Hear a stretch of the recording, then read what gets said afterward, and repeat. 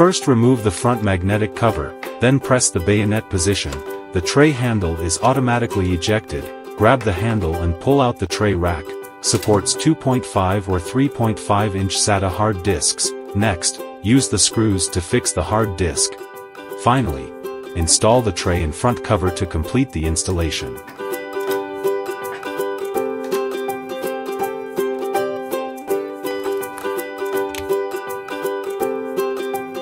During boot up, system status light fast blinking blue, solid blue light after system boot is complete. If the network status light flashes red rapidly, caused by network connection failure, please recheck the network, constant blue light means the network is back to normal.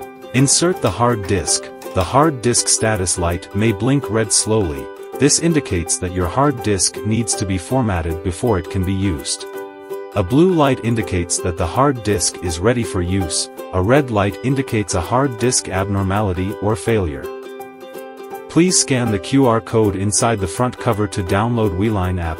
iOS users can also search for WeLine in the Apple App Store.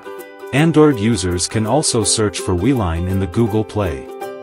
Open WeLine app, please agree to the VPN authorization request, otherwise the account will not be able to log in properly.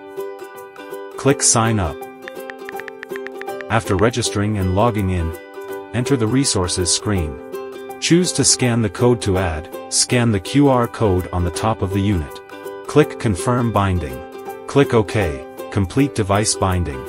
Enter the device node, follow the prompts to select the RAID mode you want. Wait for the hard disk to finish formatting and then you can use all the functions normally.